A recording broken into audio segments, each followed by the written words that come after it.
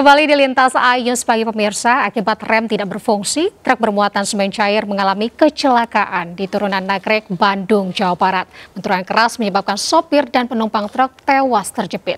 Sementara itu, dua orang kritis saat empat truk dan dua mobil terlibat tabrakan beruntun di Tol Purbalenyi, Purwakarta, Jawa Barat.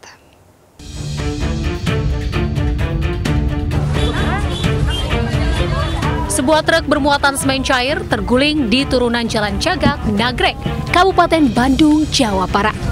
Petugas dibantu warga berupaya mengevakuasi sopir dan penumpang truk, Pian dan Syahrul, warga Cilengsi Bogor yang tewas di lokasi. Benturan keras membuat kondisi sopir truk terjepit badan truk dan baru berhasil dievakuasi tiga jam setelah kejadian.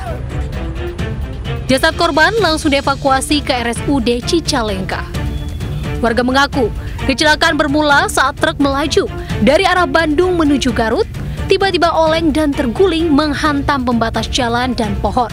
Suara keras terdengar hingga di permukiman warga. Suara keras terdengar hingga ke permukiman warga.